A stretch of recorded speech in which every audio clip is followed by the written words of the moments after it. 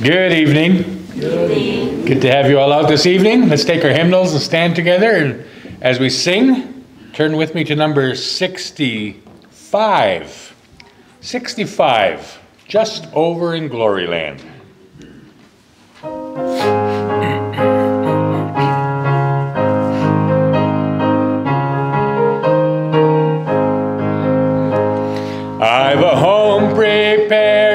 the saints abide, just over in the glory land. And I long to be by my Savior's side, just over in the glory land. Just over in the glory land. The happy angel band, just over in the glory land just over in the glory land. There with the mighty host I'll stand, just over in the glory land. I am on my way to those mansions fair, over in the glory land. There to sing God's praise and His glory share, just over in the glory land just over in the glory land.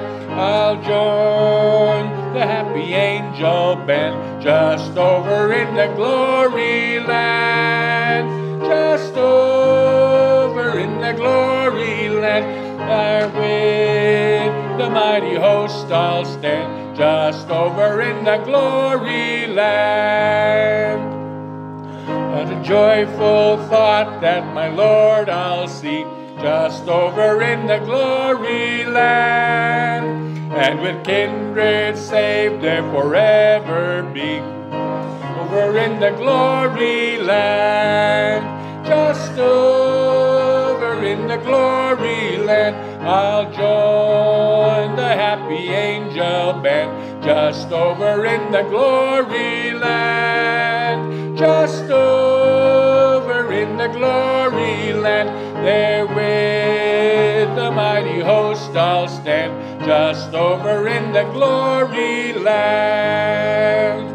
With the blood washed throng I will shout and sing, just over in the glory land. Glad hosannas to Christ the Lord and King, just over in the glory land just over in the glory land. Join the happy angel band just over in the glory land. Over in the glory land, I'll join the mighty host. I'll stand just over in the glory land. Amen. Turn ahead with me now to number 147. 147, leaning on the everlasting arms.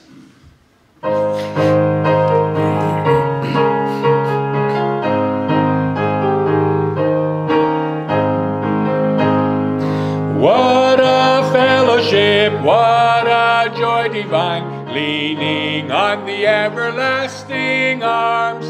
What a blessedness, what a peace is mine, leaning on the everlasting arms, leaning, leaning, safe and secure from all alarms, leaning, leaning, leaning on the everlasting arms.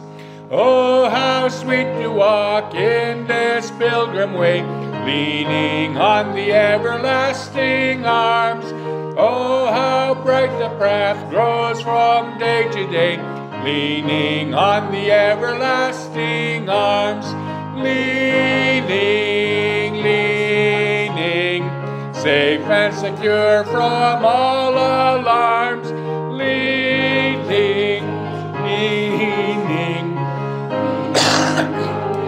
everlasting arms. What have I to dread? What have I to fear? Leaning on the everlasting arms. blessed peace with my Lord so near, leaning on the everlasting arms, leaning, leaning, safe and secure from all alarms,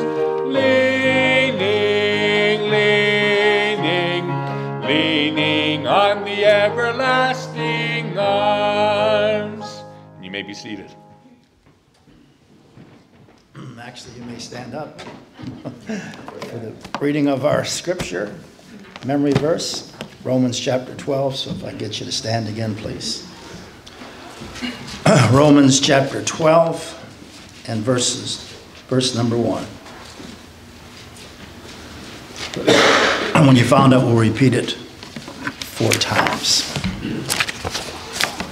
Uh, Romans chapter 12, verse number 1. Uh, ready? Let's begin. Romans chapter 12, verse 1. I beseech you, therefore, brethren, by the mercies of God, that you present your bodies a living sacrifice, holy, accept one to God, which is your reasonable service. Romans chapter 12, verse 1. I beseech you, therefore, brethren, by the mercies of God, that you present your bodies a living sacrifice holy, acceptable unto God, which is your reasonable service. Romans chapter 12, verse 1. I beseech you, therefore, brethren, by the mercies of God, that you present your bodies a living sacrifice, holy, acceptable unto God, which is your reasonable service. Romans chapter 12, verse 1. I beseech you, therefore, brethren, by the mercies of God, that you present your bodies a living sacrifice, holy, acceptable unto God, which is your reasonable service. And let's pray.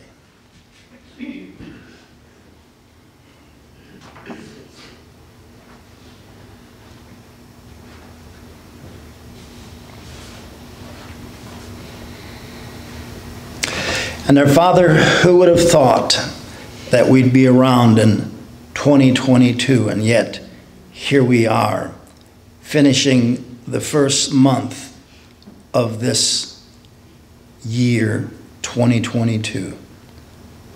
I pray that you will do a work upon our hearts and upon our lives that will cause us to be mindful of this doctrine of sanctification that we spoke about this morning.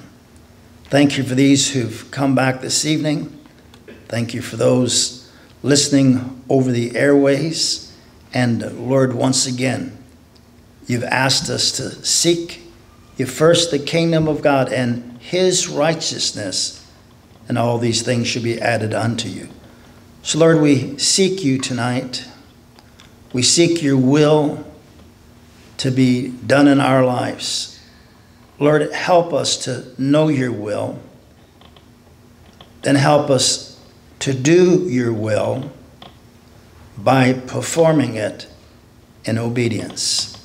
And Lord, the will of the Lord is not a difficult thing.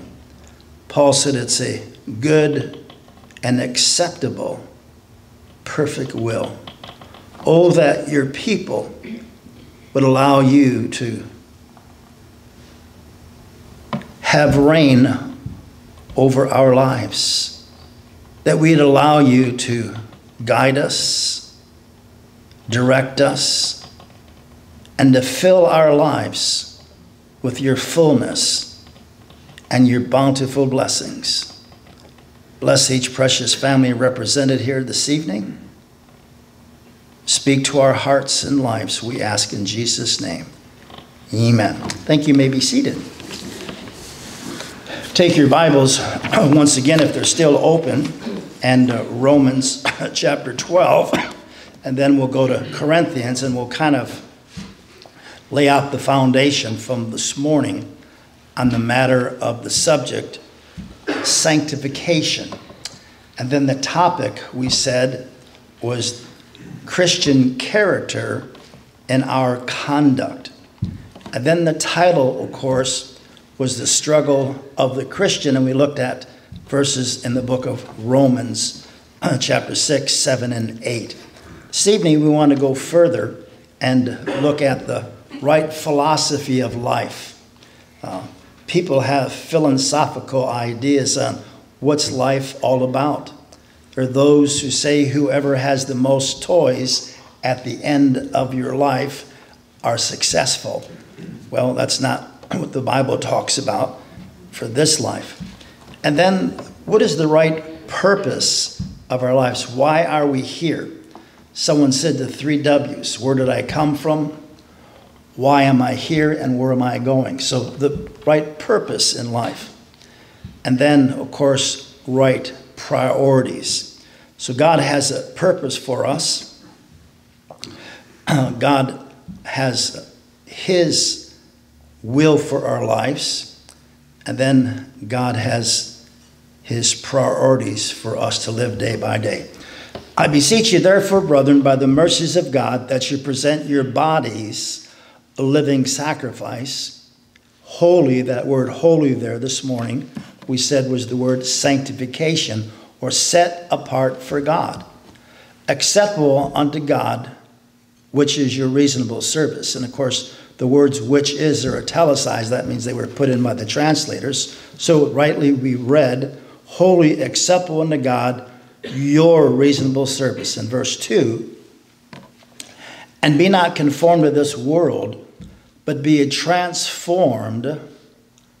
Just think about a person who gets saved later in life, maybe midlife in their mid 30s, early 40s. Uh, their minds have been set about the things of the world and the way of the world, and then so suddenly, this new dimension has come into their lives and a new way of being, a new way of living.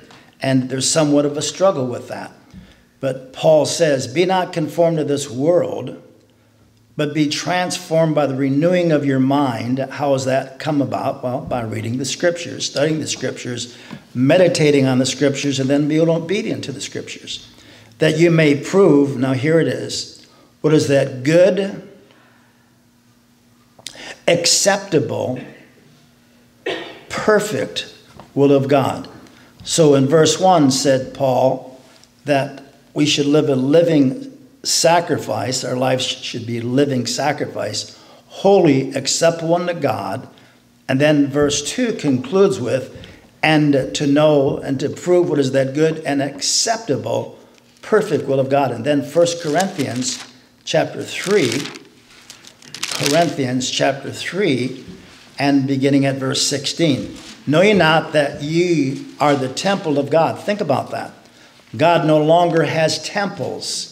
In fact, the temple of the Jews, the altar, the priesthood, was all destroyed in 70 AD when Titus the Roman came and destroyed the temple in Jerusalem and the genealogies and the altar and the priesthood was done away.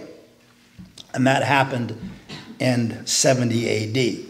So now the temple for God to dwell in, we don't have an altar, we have a pulpit, we have a platform, but of course the altar is what God would have us to have in our life a family altar.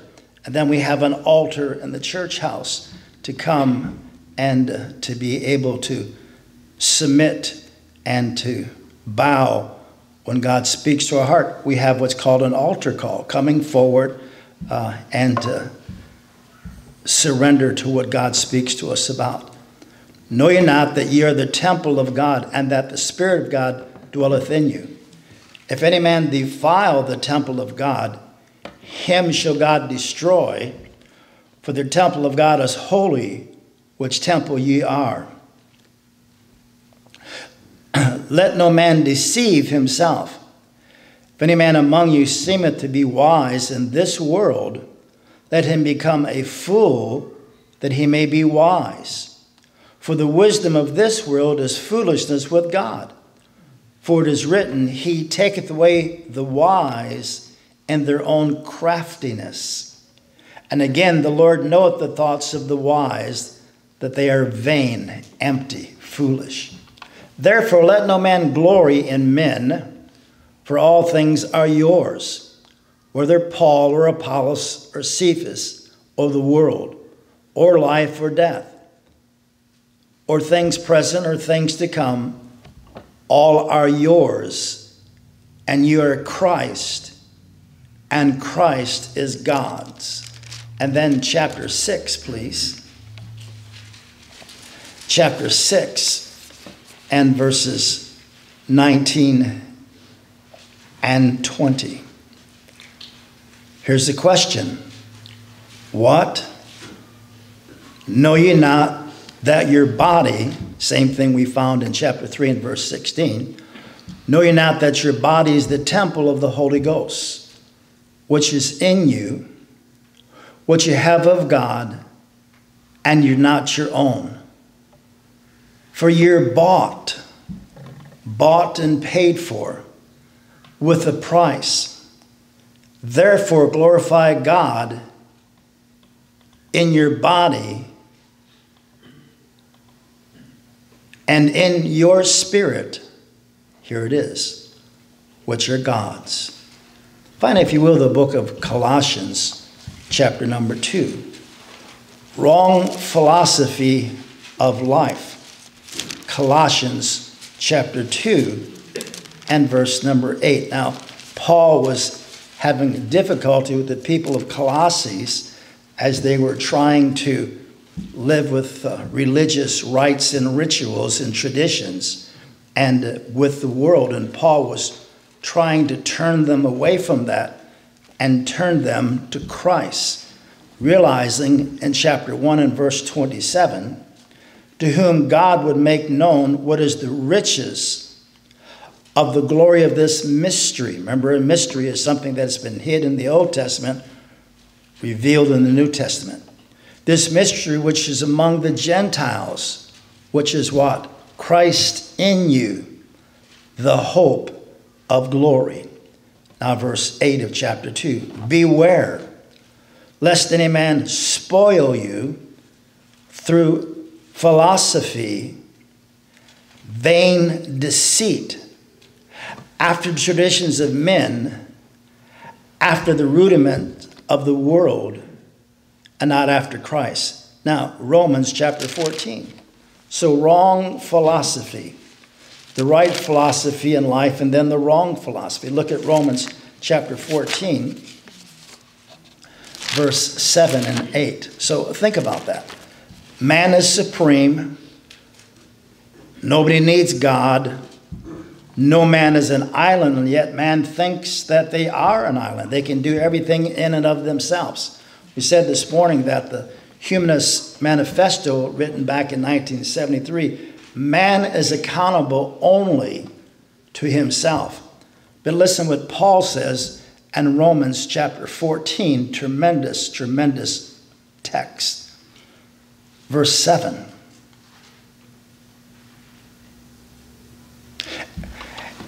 For none of us liveth to himself, and no man dieth to himself. For whether we live, we live unto the Lord. Wouldn't that be wonderful? Paul said, I'm crucified with Christ to the Galatians, chapter 2 and verse 20. I'm crucified with Christ.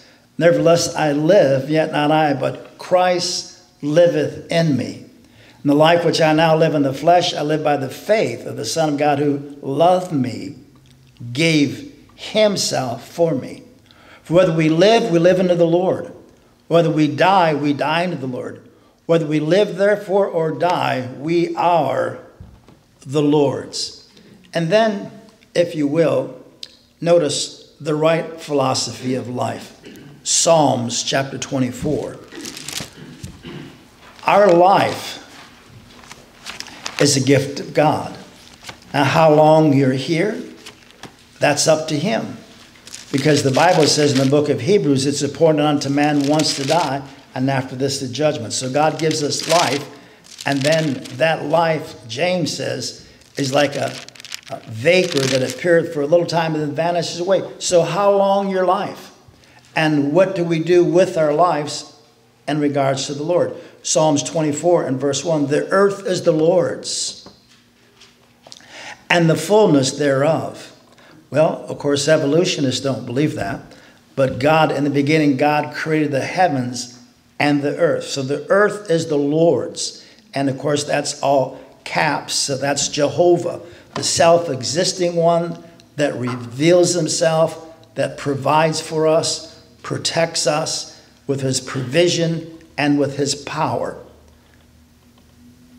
The world and they that dwell therein. Look at Deuteronomy. Deuteronomy, the first, fifth book of the Pentateuch. Remember the Pentateuch, the law. Genesis, Exodus, Leviticus, Numbers, and Deuteronomy, written, of course, by Moses. Man's life is a gift from God. Think about that life, breath, being. Paul said, In him we live and move and have our being. Elijah said, The God before whom I stand, when he stood before Ahab, the God before whom I stand. And Moses writing here in Deuteronomy chapter 32. What a tremendous book, Deuteronomy. Deuteronomy is a book of remembrance. Uh, remember, the greatest teaching is repetition over and over and over because we forget things or we're maybe lackadaisical at that moment or daydreaming and not getting the information that God wants to give to us. Do you thus request the Lord, require the Lord?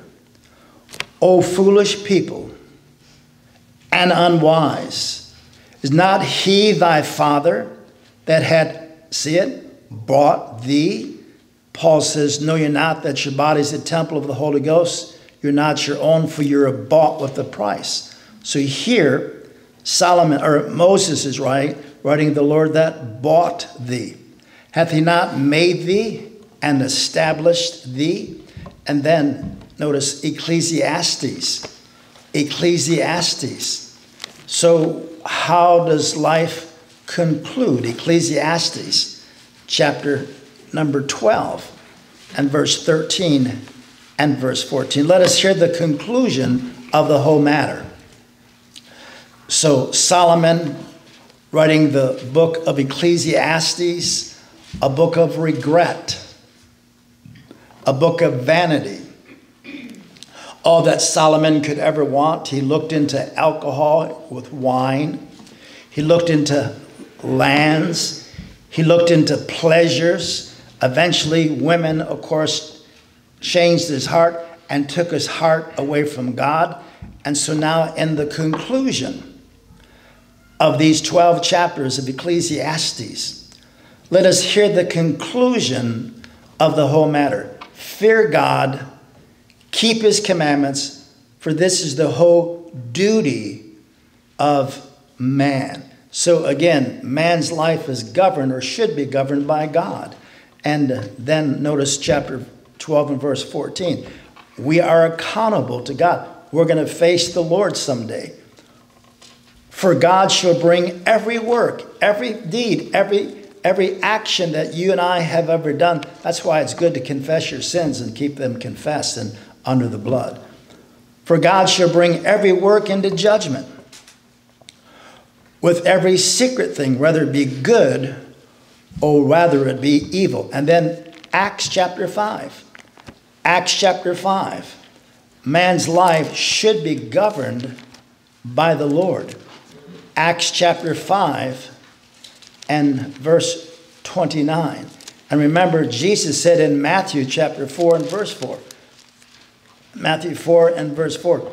Man should not live by bread alone, but by every word that proceeded out of the mouth of God. Wouldn't that be wonderful if we would listen daily to God's word? And so, so Acts chapter 5, and uh, let's take it up. And verse 29. Then Peter and the other apostles said, We ought to do what? we ought to obey God rather than man. And then going back to Romans chapter 14, man is accountable to God.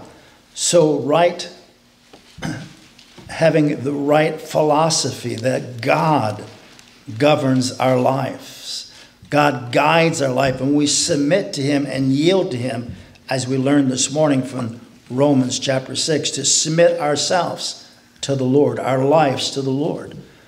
Romans 14 and verse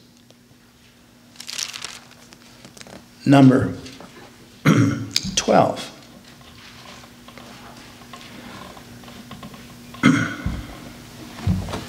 so then, every one of us shall give an account of himself to God. Verse 11 says, For it is written, As I live, saith the Lord. Isaiah 45 23 is what this quote is from. For it is written, As I live, saith the Lord, every knee shall bow, every tongue confess to God. So then, every one of us shall give an account of himself to God. And verse number 13, let us not let us not therefore judge one another anymore, but judge us rather that no man put a stumbling block or occasion a fall in a brother's way. Now, the right purpose of God. What is the right purpose of God? Back to 1 Corinthians chapter 10. The right purpose of life. Again, Paul said, I beseech you, therefore, brethren, by the mercies of God, that you present your bodies a living sacrifice. God would like your body and our bodies to live through God the Holy Spirit. Now, 1 Corinthians chapter 10 and verse 31. Whether therefore ye eat or drink, or whatsoever ye do, do all to the glory of God. So, the proper purpose of life is to glorify God. Uh, notice Luke chapter 9. Glorifying the Lord will cost you something. Living a sanctified life set apart for God will cost you something. Luke chapter 9, beginning in verse number 23.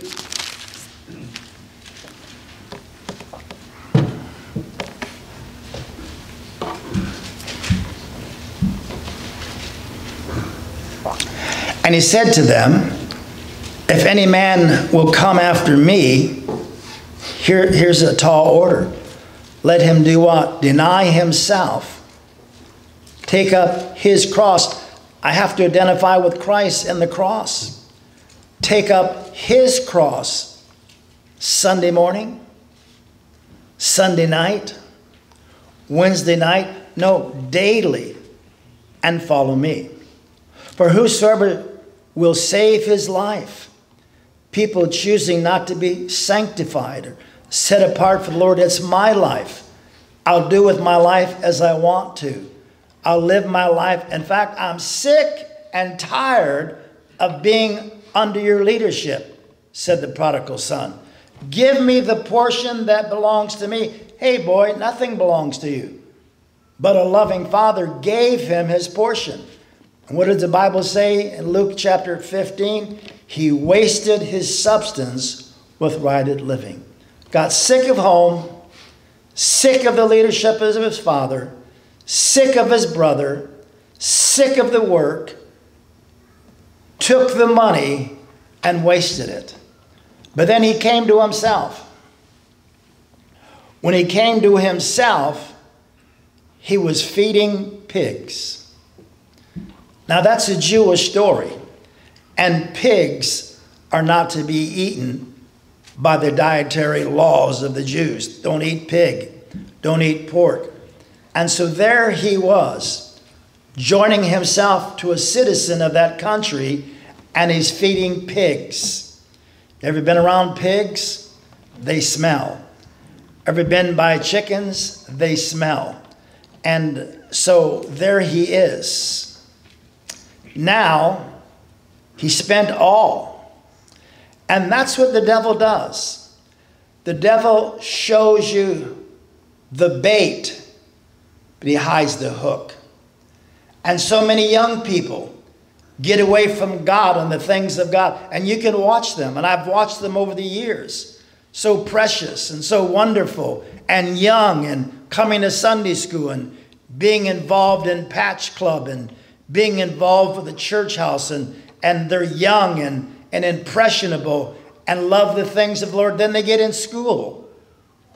They go off to school and begin to look to their teachers and listen to their teachers' philosophies and thoughts about life and evolution and humanism and socialism and communism. And they begin to grow up and they begin to get a bad attitude if we don't spend the time to bring them up in the nurture and admonition of the Lord. And uh, they begin to change before our very eyes. And we preach don't date a lost girl, don't date a lost boy. Consequences. Mark it down. There are consequences. Just talk to someone who married a lost girl or a lost boy.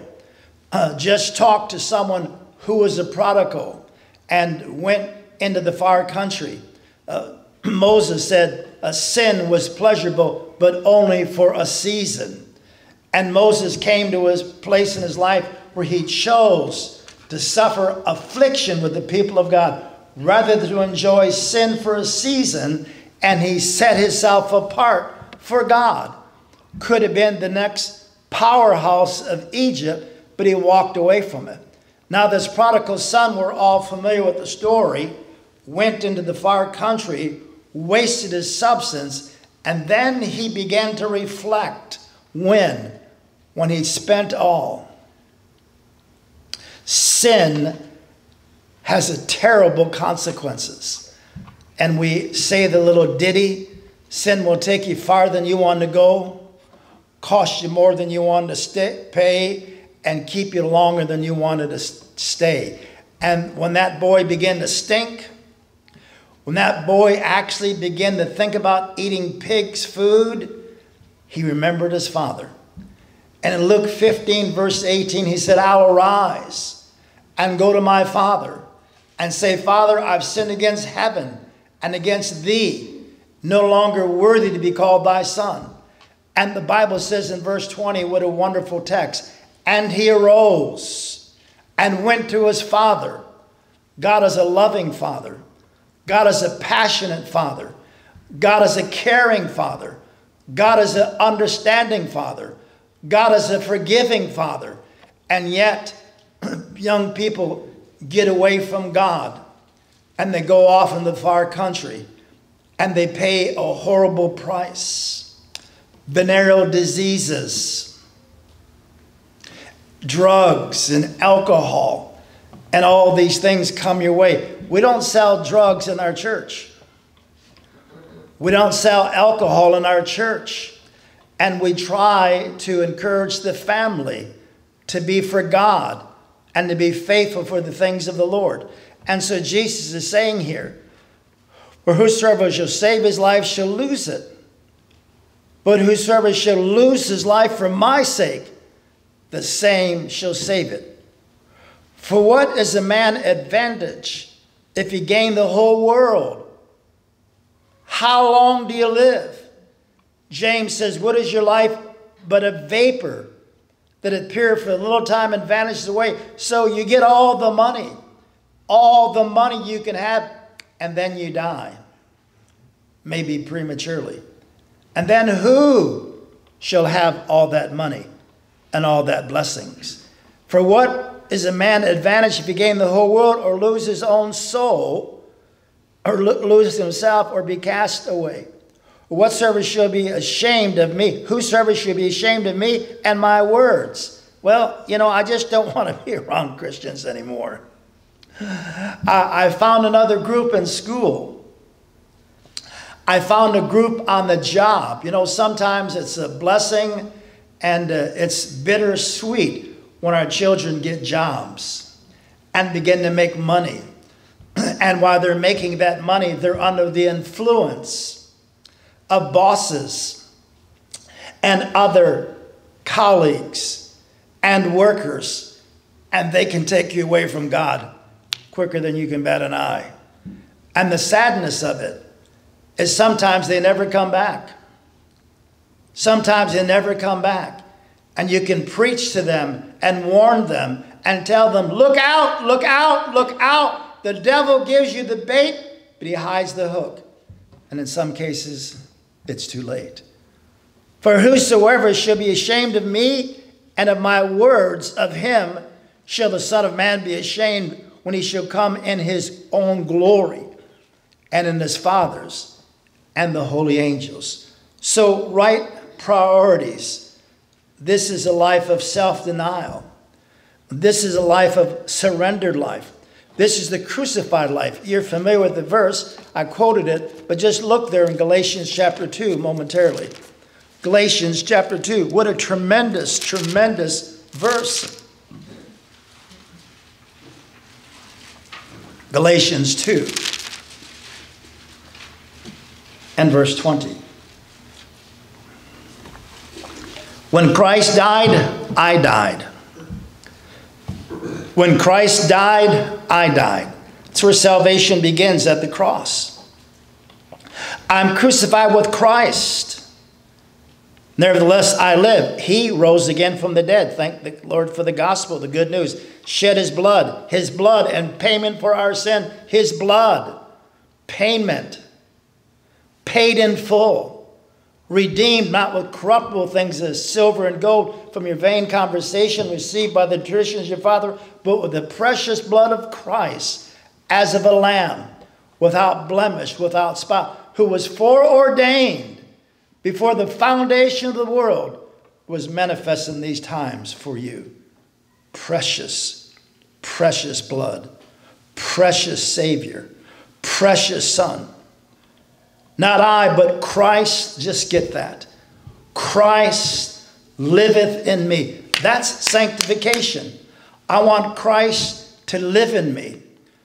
Paul said, For me to live is Christ, to die is gain. Paul said to the people at Philippi, Not that I had apprehended, I haven't arrived, but I press towards the mark for the prize of the high calling of God in Christ Jesus, forgetting those things that are behind. Preachers will use that text. Teachers will use that text in the new year, forgetting that's not what it's talking about. It's not talking about last year. It's talking about Paul's pedigree, Paul's religion, Paul's background. Paul said, What things were gained to me, I count loss for the excellency of Christ Jesus my Lord, for whom I've suffered the loss of all things, and don't count them but dung that I may win Christ and be found in him, not having mine own righteousness, which is of the law. So look at it. Christ liveth in me.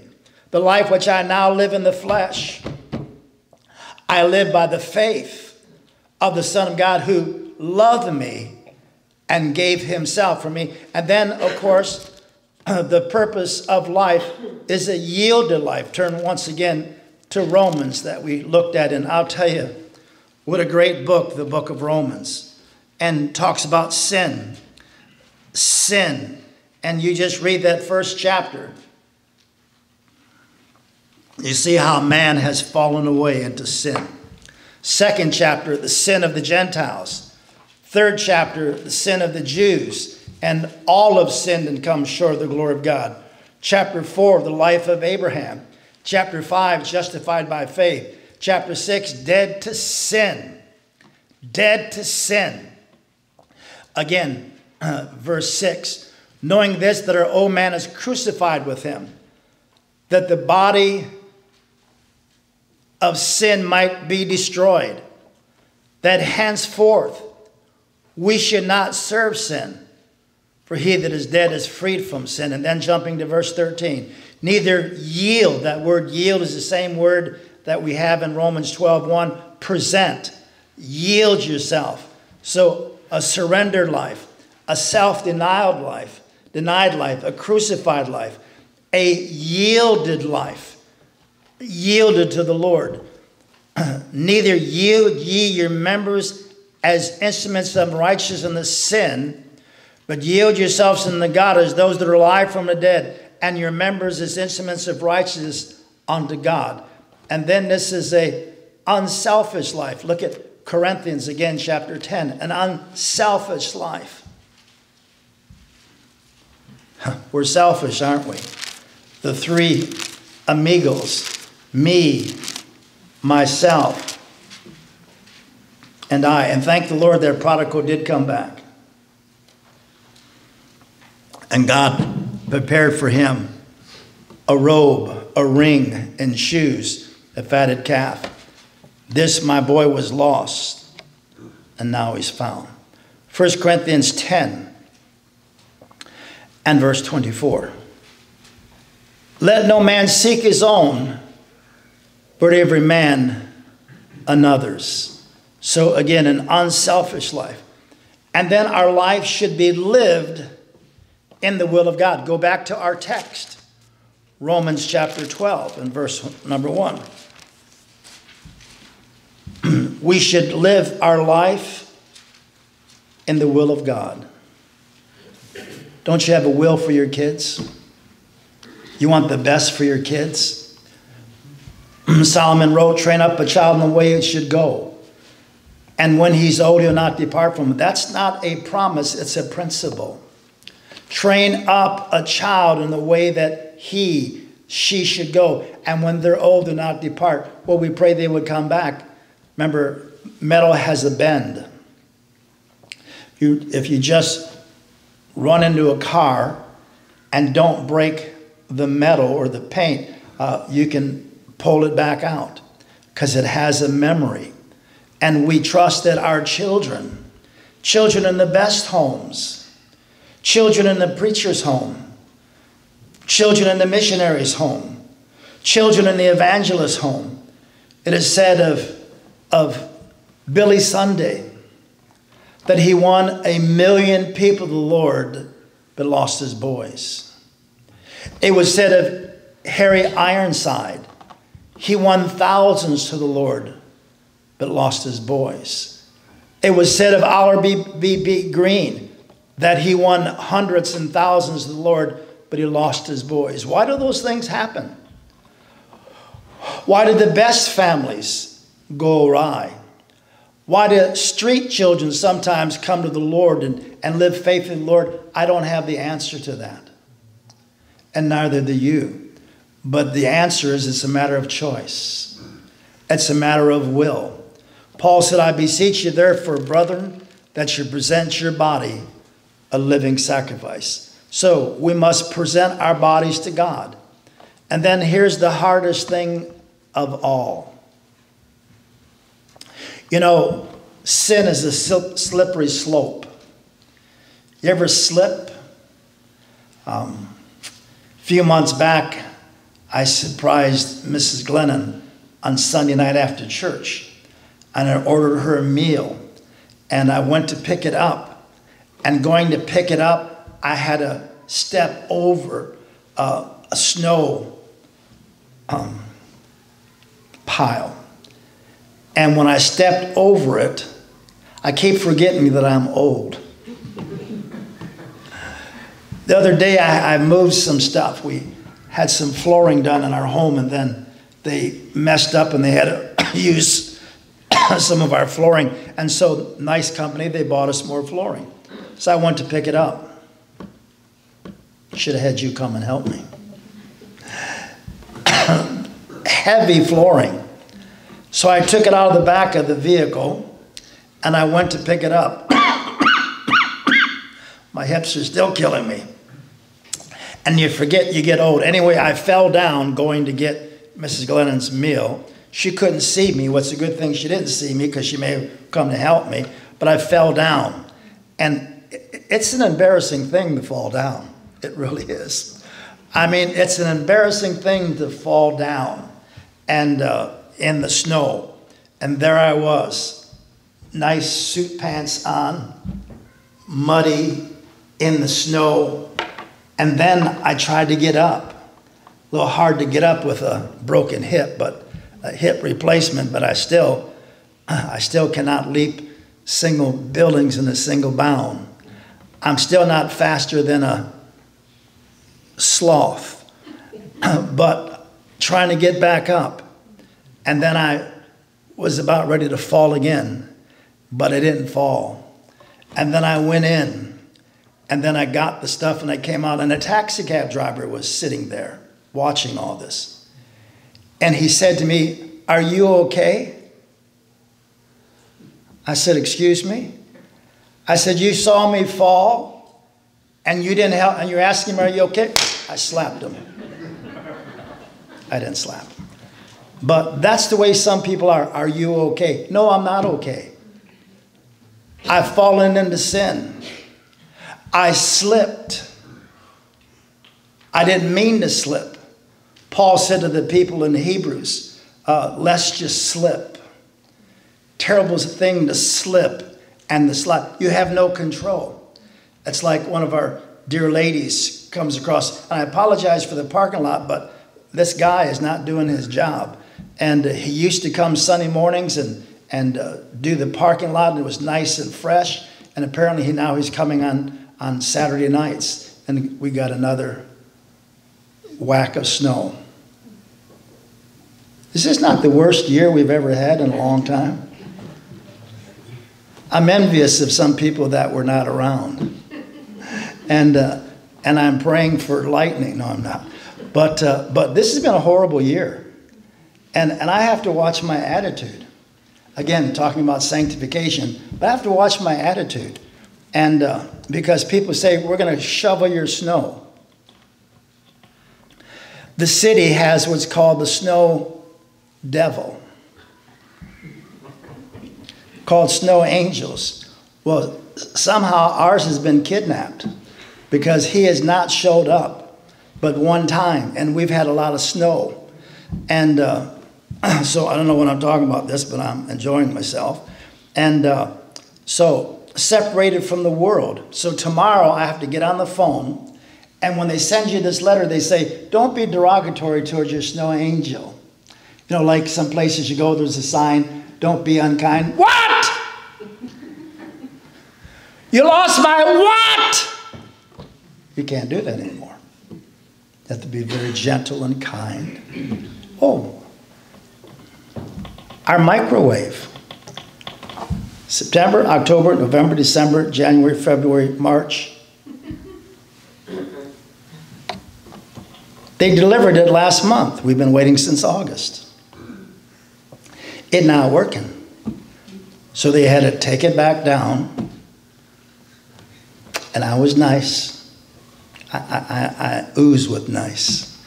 But I was nice, I really was. So then they said, well, I have sent it back. I said, yeah, because I don't want that one. That was in December, beginning of December.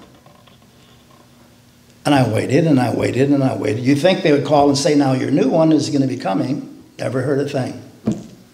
So I called the store and I said to them, um, you know, hear anything about our microwave? Oh, I'll look right into that. So finally, the girl was polite, new girl. She said, It'll be here in March. I said, What? How's that possible? March? Anyway, so I have a bad snow angel. I have a bad furnace company or furniture company, but I have to realize this is God's will. It's God's will that I shovel the snow this morning. You're not crying. Shoveled the snow this morning before I came to church. And uh, so it's God's will. So Paul said, and be not conformed to this world. Again, there's that worldliness. But be transformed by the renewing of your mind, that you may prove it is that good, acceptable, perfect will of God. So I must separate from the world. I must seek the word of God. And I must separate from the world. Now think about that. So, what is God's will for my life and your life? Luke 8. Luke 18. So, again, our life should be lived in the will of God. How can I know the will of God? Well, I'm going to submit my body to Him. I'm going to separate from the world. I'm going to seek His word. There are many things we already know as God's will. Luke 18 and verse 1. Luke 18, verse 1. Men ought always to what? Luke 18, when men must always, men must always, men ought always to pray and not to faint. God's will, number two. God's will that we read his word. Thy word have I hid in my heart. Isn't that elementary? Thy word have I hid in my heart that I might not sin against thee. God's will, number three, that we attend church. Let us not forsake the assembling of ourselves together as a matter of some are, but exhorting one another, and so much the more as you see the day approaching. So, come to church. It is God's will that we tithe. I preached last week, Sunday morning and Sunday evening, on tithing. And will a man rob God? Yet you rob me in tithes and offering. It is God's word that we separate, God's will that we separate from the world. Separate from the world. Have no fellowship with the works of darkness, but rather reprove them. It is God's will that we witness and tell others about Jesus. And then finally, right priorities in life. We're in, we're in Mark, uh, or we're in, we're in Luke. Turn to Mark chapter, um, or Matthew. I'm all right. Matthew chapter 6. Right priorities of life. You know where I'm going, I'm sure. Matthew 6 and verse 23. But seek ye, seek ye first the kingdom of God and his righteousness, and all these things should be added unto you. That's the anxiety from verses 25 through 34. God's people living in anxiety, right priorities of life. Life is too short to be wasted. Take therefore, verse 34, no thought for the morrow. That's tomorrow. For the morrow should take thought of the things of itself. Sufficient unto the day is the evil thereof. Our life, James says, what does he say about our life? James chapter 4. James chapter 4.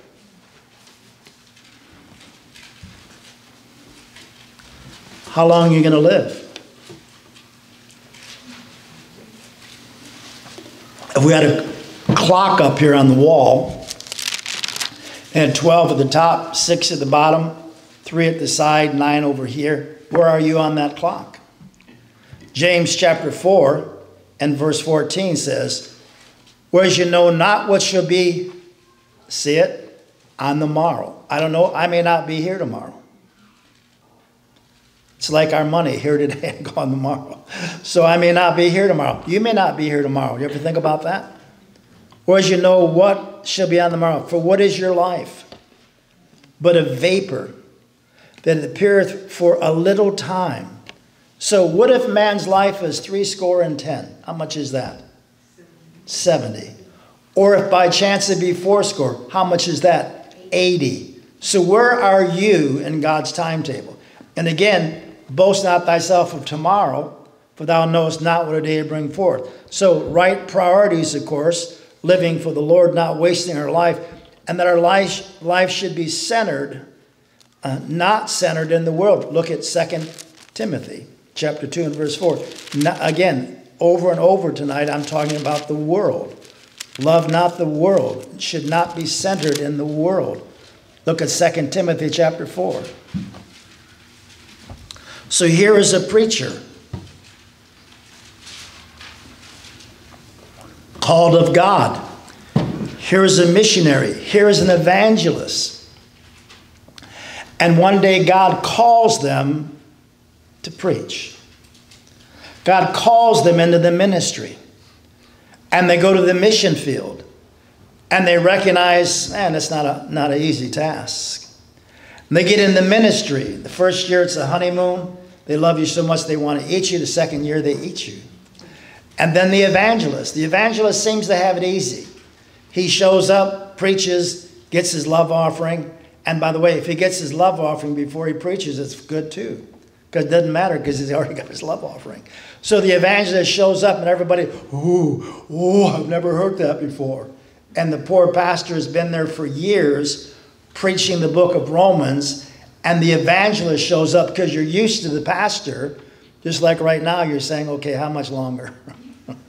I wonder how much longer. And I praise the Lord, I'm here tonight.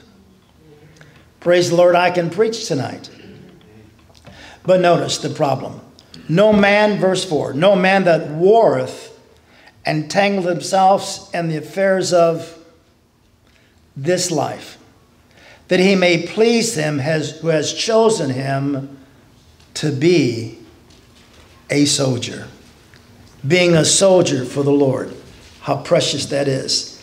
Our life is not centered around this world, but another world. And then we're to be mindful of our time. Look at Ephesians chapter 5. Our time is important.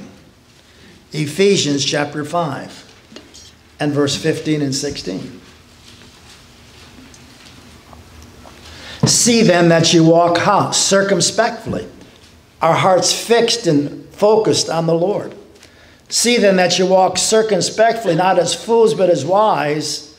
How? Redeeming the time, because the days are evil. What should a Christian's priorities be? Jesus said, I must work the works of him that sent me while it is day. The night cometh when no man can work. Look at Matthew chapter 22. Matthew 22. What should your priority be, really? I mean, what should your priority be? What should my priority be? Matthew chapter 22 and verse 37. Jesus said unto him, Thou shalt what? Love the Lord thy God with all thy heart, with all thy soul, with all thy mind. This is the first and great commandment.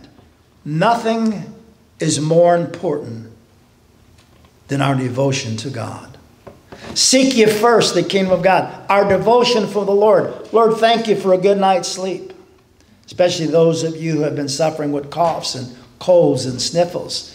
And, uh, and, and I don't know what's been going on, but for like almost two and a half weeks, I had insomnia. I couldn't sleep.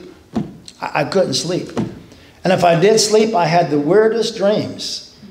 I mean, the weirdest dreams I think I've ever had in my life. I don't know, maybe it's part and parcel of getting old, but I, I just couldn't sleep. I got to where I dreaded going to bed at night.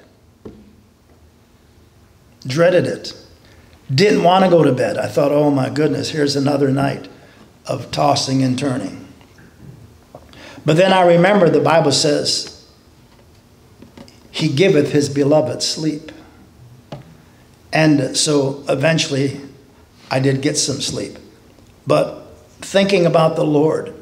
And sometimes when I can't sleep, I just start quoting verses. I don't count sheep. I, I quote verses and begin to quote verses, and then sometimes then I'll doze off. We should love God more than self. We should love neighbor more than self. Second priority, how about your family? How about your family? It's too late when they're grown up to spend time with family. And notice Ephesians 5, of course. Second priority in life devotion to our families. Thank God for our families. Our kids, what do we always say? They grow up too fast. There they are, and suddenly they're going off to school. Suddenly they're married. Suddenly it's like that old uh, song, uh, Cats in the Cradle and the Silver Spoon, and my son has no time for me because I had no time for him. My daughter has no time for me because I had no time for her. We're to love our family. Ephesians 5 28. To love our families. Ephesians 5 28. So ought men to love their wives. Boy, there's the key to marriage. Love your wives. If you love your wife, she will acquiesce and love you back. What's the commandment? Verse 25 Husbands, love your wives as Christ loved the church, gave himself for it. So ought men to love their wives, verse 28, as their own bodies. He that loveth his wife loveth himself. And then we're to look at our children. Look at chapter 6 and verse 4. And ye fathers, provoke not, provoke not your children to wrath, but bring them up in the nurture and admonition of the Lord. Notice Colossians chapter 3. Just turn over to Colossians chapter 3 and verse 21. Fathers, provoke not your children to anger, lest they be discouraged. Being an absentee father, being too busy for your children. Again, Proverbs 22 6. Train up a child in the way he should go, and when he's old, he'll not depart from it. Look at Hebrews chapter 10. Hebrews chapter 10. And of course, we're to provide for our family, 1 Timothy 5 8. But how about our devotion to the church house? To the church house. Hebrews chapter 10, you know where I'm going. But family and church ought to be synonymous. Our children went soul winning with us on Saturday. We would go soul winning on Saturday and bus calling on Saturday from 8 o'clock in the morning to sometimes 3 or 4 o'clock in the afternoon. Church became the center of our life. I can remember riding a bus and my son sitting, he couldn't do that today. My son sitting right there in the window. He could have, you know, it was closed so he couldn't fall out. But uh, church, bus calling, breakfast at church, then calling all day long for hours, sewing, taking our kids sewing. And our daughter said one day, Daddy, I need to be saved and we led her to the Lord. And then one day, my wife, along with our son, reading a story about a dude, and uh, he always wanted to be a dude and ride a motorcycle. And she read the story about this dude, and then she read the story about this old man who said no to God, no to God, no to God. And then he got too old, and God came and he said no, and it was too late. And so that touched our son's heart. And my wife said, Now, what about that guy? He went to hell. And you want to go to hell? No. And so at a young age, our boy made a decision for the Lord. But church and home. Now, the first institution that God established was the church. And then government. And the government has gone to hell. I say that not disrespectfully. The government has totally gone to hell in a wheelbarrow.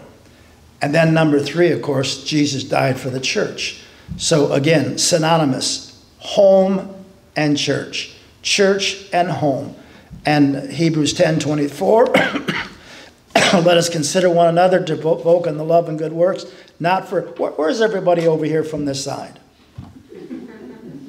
Just think, where are they? Now, next week, I'm talking, going to talk about the investment in our church. Well, where are the other people over here? Don't pan it with the camera, but where, where are they at tonight?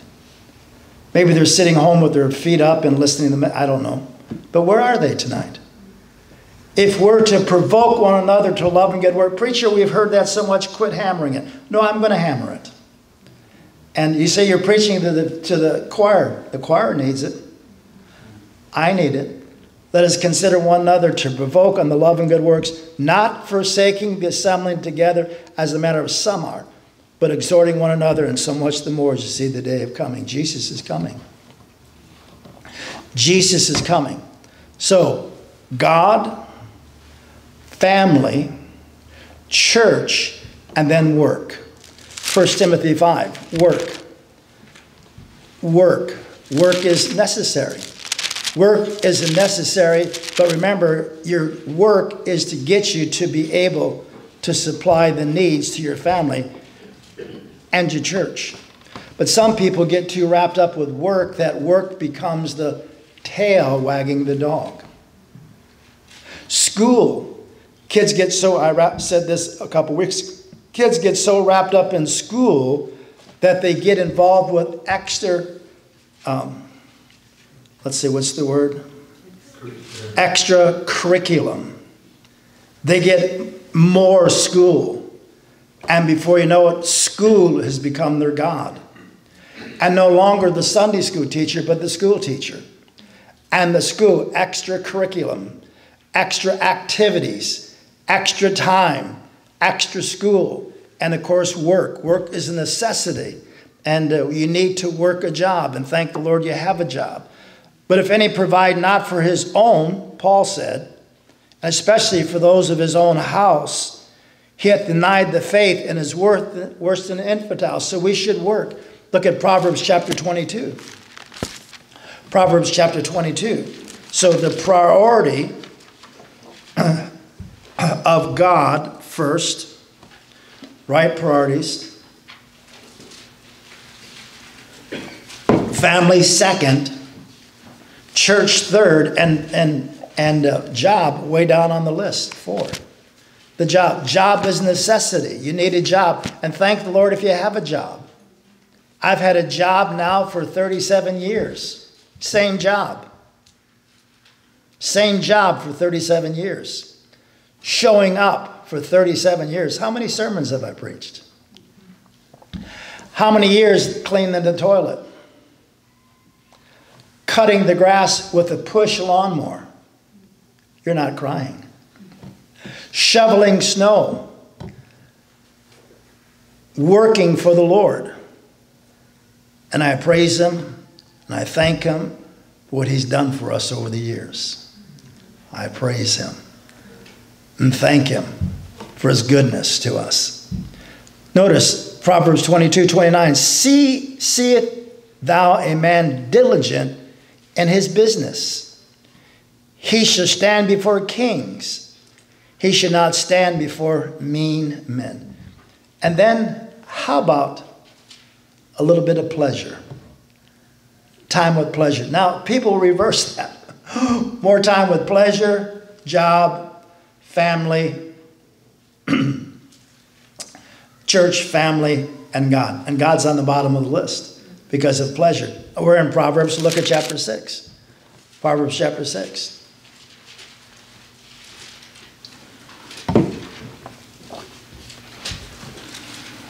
Nothing wrong with enjoying yourself. Nothing wrong with having some time away. Jesus had come apart. They were so busy they couldn't eat. Jesus said, Well, come apart. So, the Bible teaches work ethic. And then, of course, spending time with the, think about the ant. Proverbs 6 6.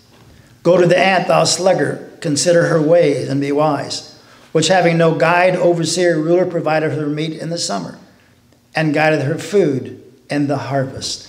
And then Ecclesiastes, go back there now, after Proverbs, Ecclesiastes. Look at chapter 11.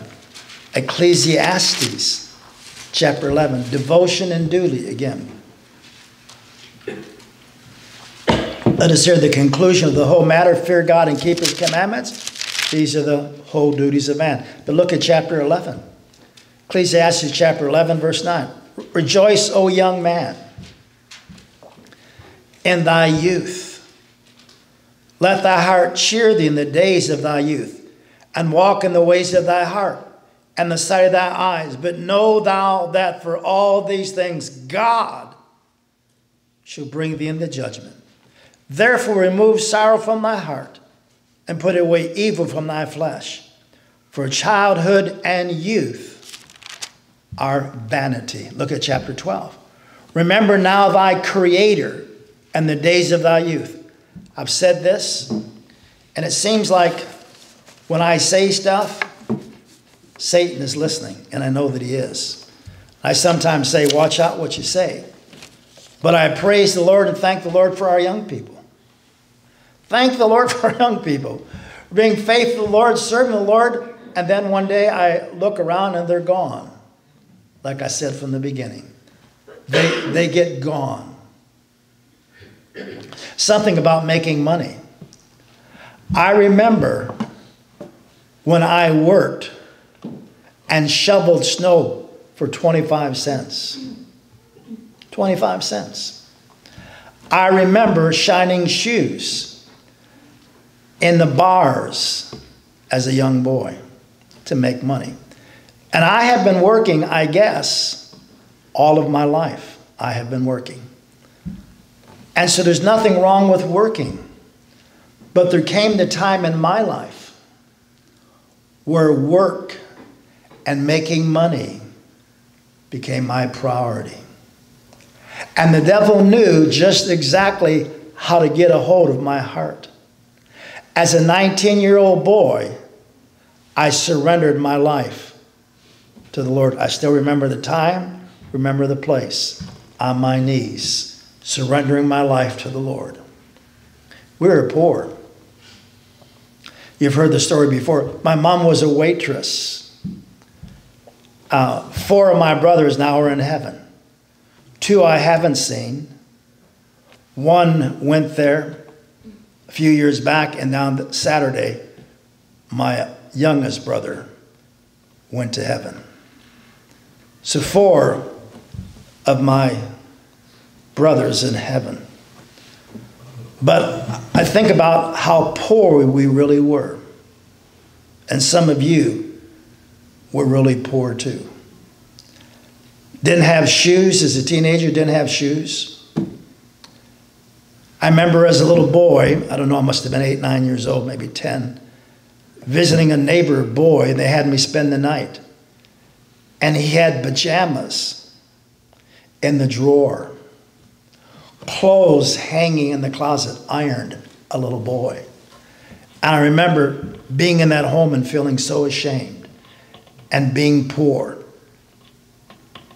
and we were poor. So I appreciate things and I appreciate hard work. But the devil just got a hold of my heart. I was never really discipled in the things of the Lord. Got saved, but that was about it. And you heard the story the church had a split, and so I didn't have a way to church. But I guess I could have hitchhiked. But I got to making money and money began to be my God. So I know what I'm talking about. And when young people begin to make money and you make more money, it, it gets a hold of you. And money becomes your God. Not meaning to, but you get to making money.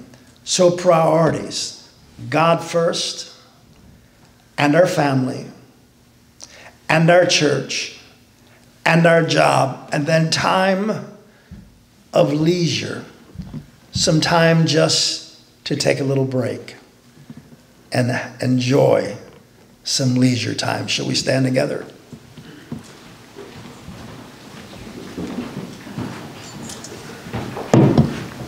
The right purpose, the right philosophy, setting ourselves apart for the Lord Remember now thy Creator in the days of thy youth, while the evil days come not, nor the years draw nigh, when thou shalt say, as the prodigal, as we gave the illustration earlier, I have no pleasure in them.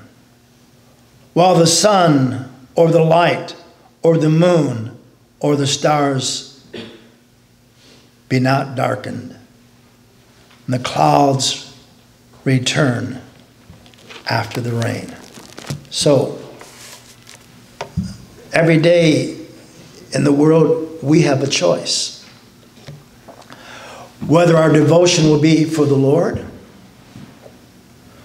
whether our devotion will be with our family, whether our devotion and really family and church is synonymous, be for the, the church house bringing up our family in the nurture and admonition of the Lord.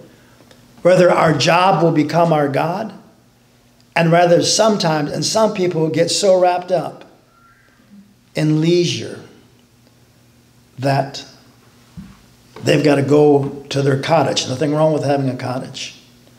They've got to go and have be entertained more than having that priority to say God is first place in my life it pays dividends. Shall we pray?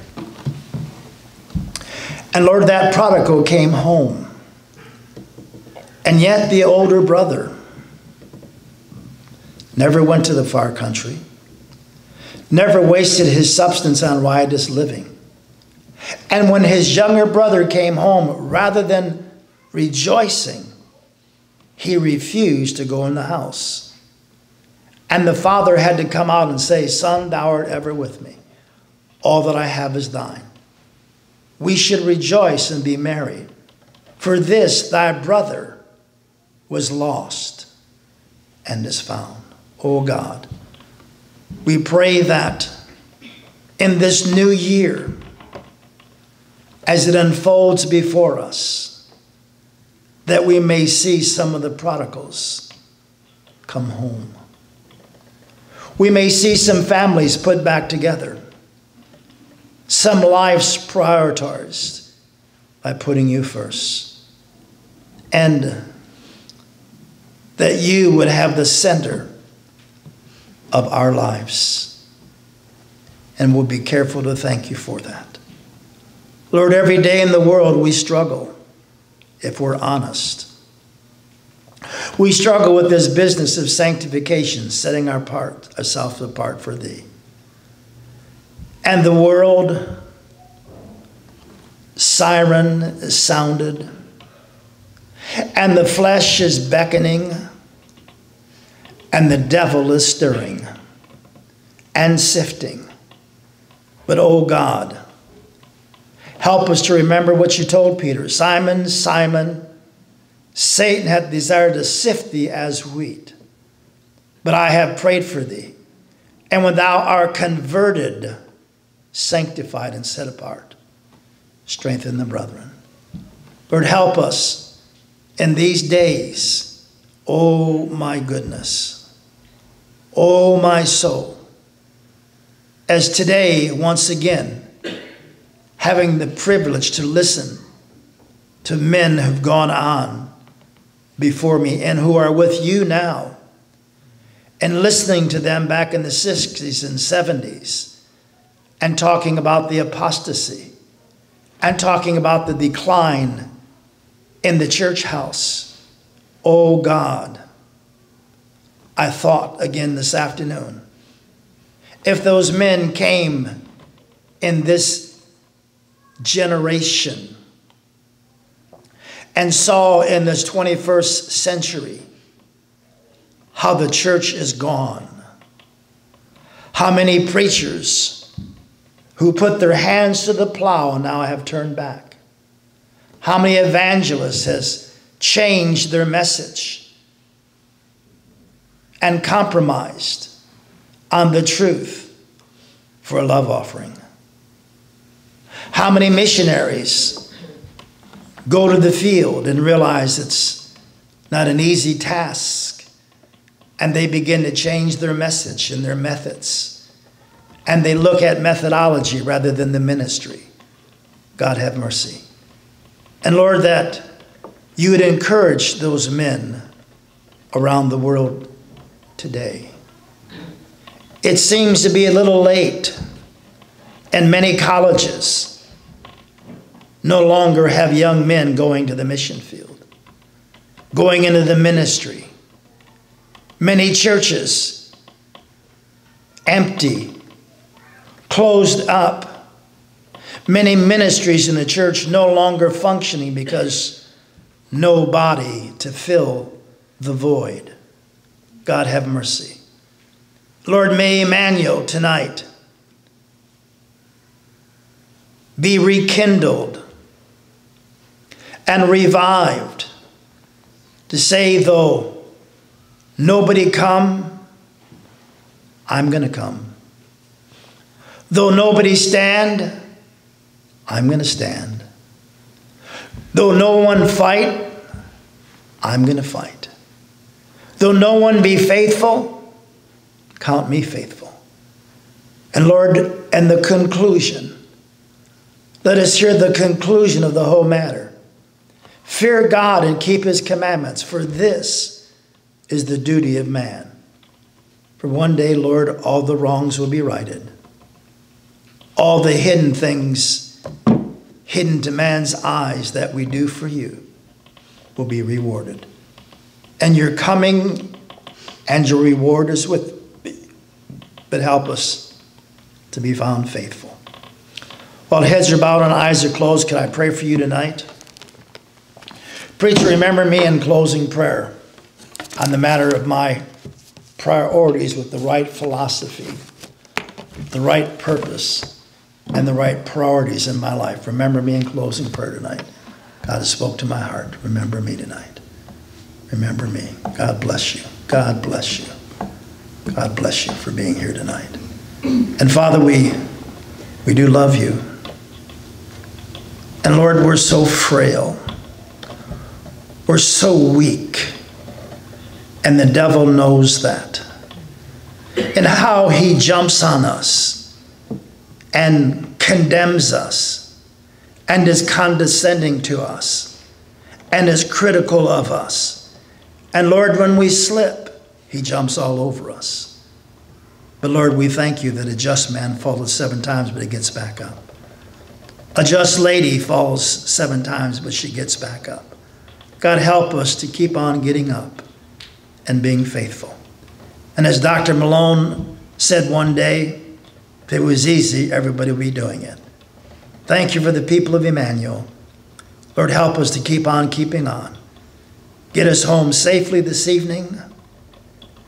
And oh God, tomorrow, the last day of January, help us to get our priorities right, that we belong to you. And Lord, you can look at us and say, He's mine. She's mine. They're mine. They belong to me. Oh God. As Elijah said, the God for whom I stand. As Paul said, in him we live and move and have our being. Help us to be mindful each moment of the day, each moment of the day, to walk in the Spirit, not fulfill the lust of the flesh, is my prayer in Jesus' name.